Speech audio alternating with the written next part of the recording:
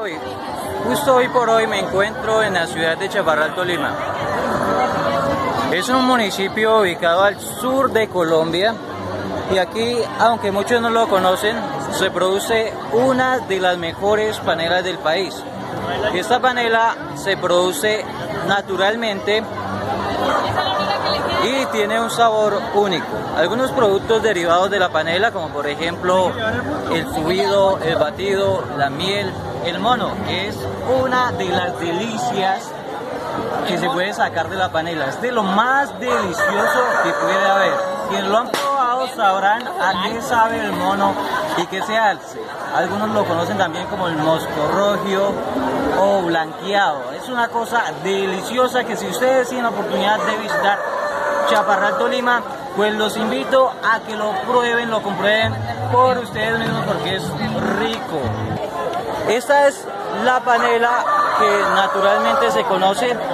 Ya ahora por cuestiones del INVIMA y cuestiones sanitarias han hecho que este empaque que se ve muy artesanal se ha retirado y ahora viene en unas feas bolsas que hace que la panela se sude y no dure igual que cuando se utilizaba la calceta. Aunque crean que esto es un avance, en realidad esto es un retroceso, ya que anteriormente, como la empacaban los campesinos en su hojita, no contaminaba. Pero ahora, como se está haciendo el proceso a través de la bolsa, se está generando contaminación y se está perjudicando el medio ambiente. Así que esta medida no fue un avance en realidad, sino que fue un retroceso. Aquí vemos algunas de las personas del corregimiento de Amoyá, ¿verdad? Corregimiento de Amoyá, representando el corregimiento de Amoyá en esta exposición campesina de las ferias y fiestas en Chaparral, Tolima. En otras regiones del país pueden encontrar panelas como Villeta, incluso algunas regiones de Santander y el Cauca.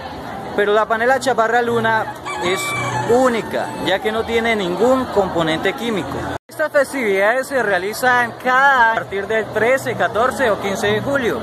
Se hace una exposición campesina, se invitan artistas, los campesinos traen una muestra del campo, traen animales, traen frutos del campo, traen comidas, o por ejemplo, acá vemos, es como una torta, ¿cierto? Torta de sidra y de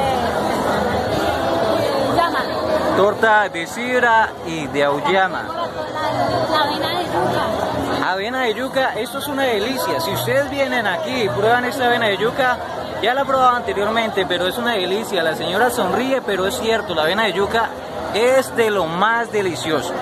Voy a continuar, por aquí que encuentro torta de sidra muy similar. Esta es una feria y en esta feria van a encontrar cualquier producto que a ustedes se les ocurra. Eso es como unos envueltos de banano tradicionales y por allá el plato fuerte de los tolimenses. El plato fuerte de los tolimenses es la lechona. Y se ve que el señor es todo un experto en lechona, ¿verdad? También es deliciosa la lechona. Entonces, si tienes la oportunidad de venir a la feria antes de que termine, corre, corre para que puedas probar esos deliciosos platos típicos. Tenemos una muestra del corregimiento de las Hermosas, es uno de los corregimientos más importantes de la región. Y encontramos la racacha, esta racacha se produce en clima frío. En algunas regiones de Santander es conocida como el apio. Y vaya, yuca. La yuca, una deliciosa yuca. ¿Pero qué yuca? Y unas matas de yuca bastante grandes. Y por aquí encontramos algunos cafés de la región. Entonces, acá hay una muestra del café. Estos son cafés especiales y allá aparecen los números. Estos son producidos directamente por los campesinos. Y acá otras variedades de café para los que dicen, no, yo no puedo tomar café. Entonces hay una variedad de café especial que viene con otros componentes. Y aquí hay algo de historia sobre este café y cómo ha sido utilizado a nivel mundial. Muy bien, voy a continuar por ese recorrido en esta feria en Chaparral, Tolima. Y por acá he encontrado un dato interesante, dicen derivados del café. Entonces hay algunos derivados del café Derivados del café. Caballero, ¿qué derivados hay del café? Explíqueme un poquito. La torta de café, Tor- la arequipe de café, galletas de café y el dulce de la cáscara de café. Dulce de cáscara de café, torta de café y galletas de café. Del café no solo se produce tinto, sino que hay otros derivados. Ustedes también son del corregimiento de las hermosas. Sí, señor. Esta es la capota. ¿Puedo probar un, un tantito? Delicioso. Deliciosos esos derivados. Los invito a visitar la feria. Esta feria, ¿saben hasta qué hora será? A las 3 de la tarde. ¿Esto es arequipe de café? Arequipe de café. Bien, se ve que es una delicia.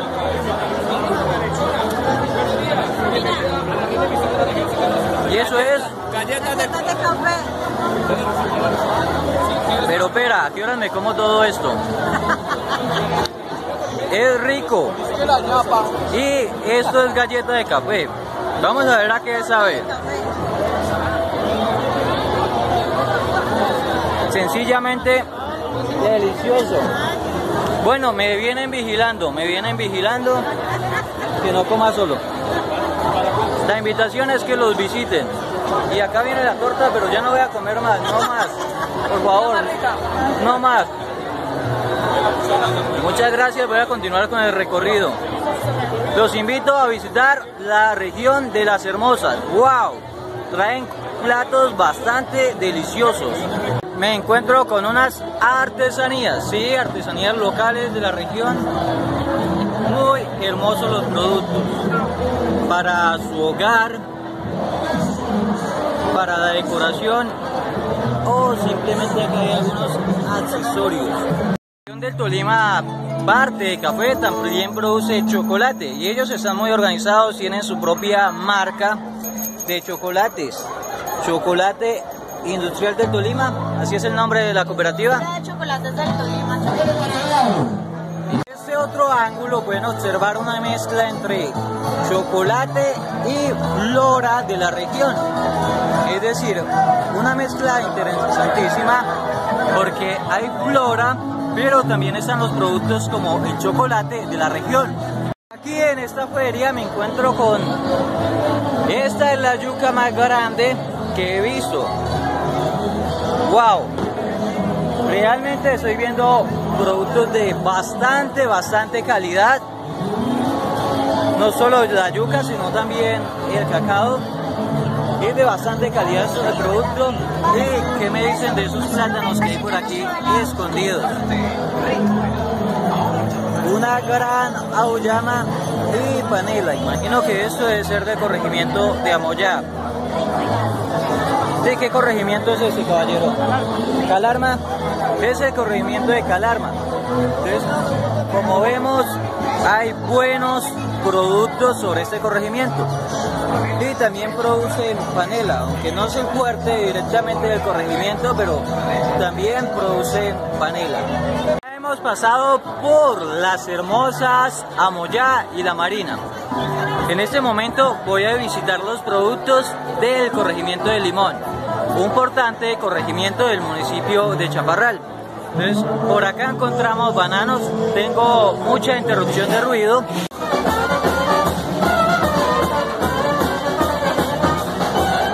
Soy Roma el último poeta y aquí vamos a pasar por las artesanías, porque los chaparralunos también saben hacer artesanías y que hay artesanías, según ley, caballos realizados a base de madera. Voy a preguntar un poco sobre los caballos. Estos caballos, ¿qué tanto tiempo le demoran a hacer un caballo, por ejemplo, como este que estamos viendo aquí?